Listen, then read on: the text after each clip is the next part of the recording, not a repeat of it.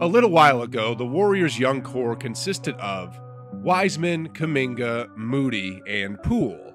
Four young and talented ballers who, uh, fit together perfectly on the court. I mean, Wiseman is a center, Kuminga is a small forward, Moody is a shooting guard, and Poole is a point guard. The future looked like it couldn't be any brighter for Golden State. Until, uh, this happened. With the 28th pick in the 2022 NBA Draft, the Golden State Warriors select Patrick Baldwin Jr. from the University of Wisconsin Milwaukee. If you're wondering what this guy is capable of, just watch these.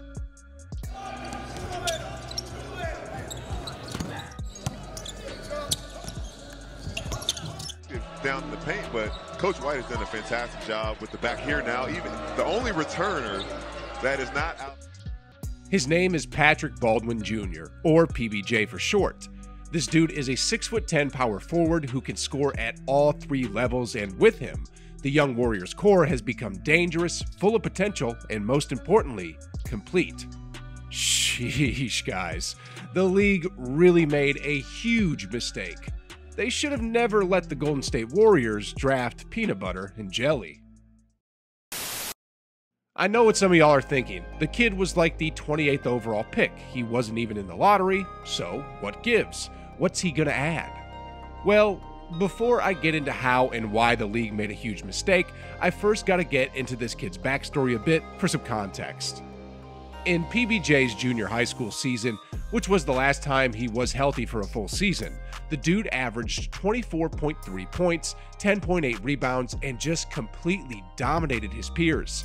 I mean, he had a silky smooth shooting stroke, which he used to knock down both three point shots and mid range shots. He had the ability to attack the basket and was capable of bringing the ball down the floor like a guard and playmaker for his teammates. At about this time, he was one of the top high school recruits in America, and ESPN ranked him as the fifth best player for the class of 2021. Just for some context, Kuminga was fourth on ESPN's list for prospects in 2020.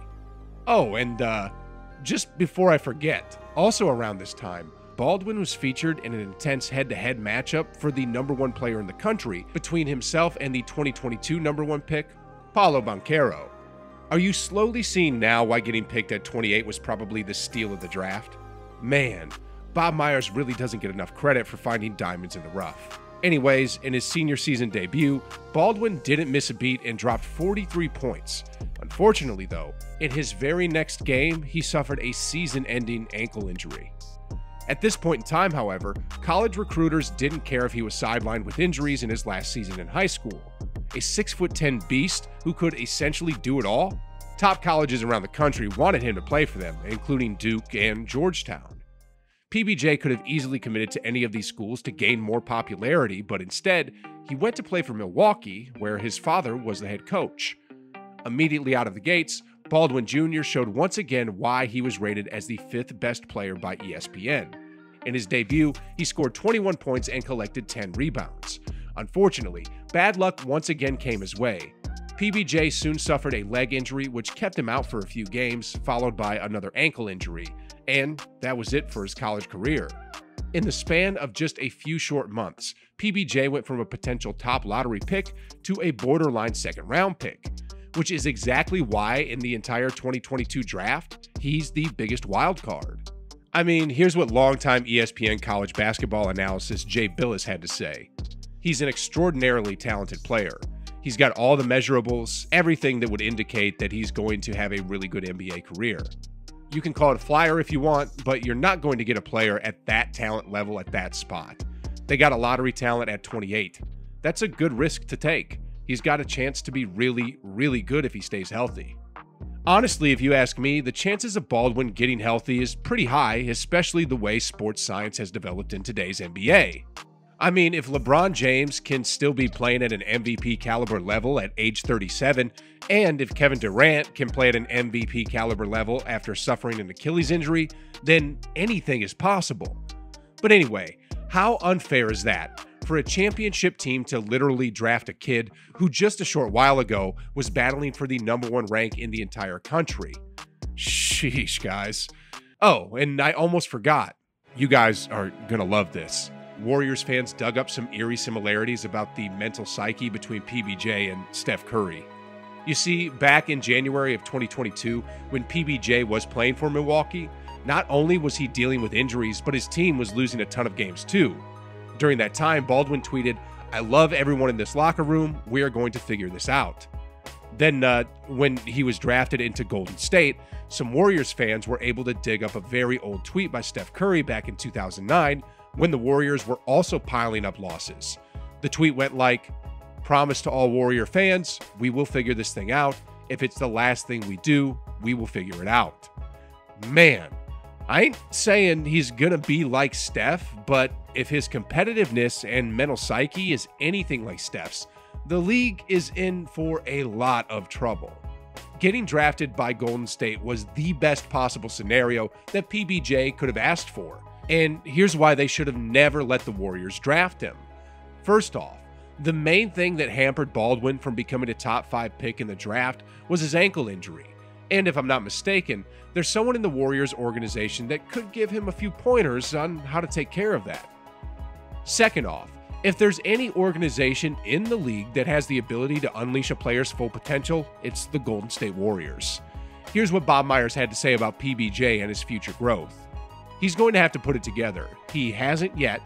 He was a top 10 recruit out of high school. Now he's in the NBA. So he's going to have to get up to speed. We invested a lot in our player development, and we believe that we can take talent and hopefully cultivate it. We think he's one of those guys. And lastly, being on the Warriors means that PBJ is going to have a complete year to get healthy and develop his skills. Because Steph Curry and the Warriors are championship contenders in 2023, Baldwin Jr. probably isn't going to see much court time in the NBA. Instead, I'm sure the training staff is first going to work on getting him completely healthy, then they're going to work on his skills as they enlist him onto their G League affiliate, the Santa Cruz Warriors. With him having a complete year to just get healthy and get better, just imagine what he can be for the Warriors. I mean, standing at 6 foot 10 with the ability to score effortlessly at all three levels, he kind of reminds me of Michael Porter Jr., who, as we all know, is a beast when healthy. Now, let's zoom out and look at the big picture objectively for a minute. Steph Curry is currently signed on until 2026. But the truth is, he's probably going to be a warrior until he's like 40 or something. He'll eventually decline physically and as a player, but if there's one thing he'll never lose, it's his championship habits and work ethics. Over the course of the next few years, those habits and work ethics will trickle down completely into the new core, and that'll set the league on fire.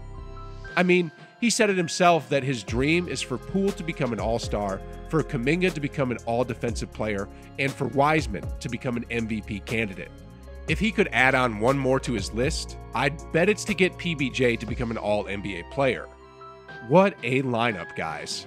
And the truth is, Curry will have an opportunity to play with this complete unit in a year or two when they grow a little.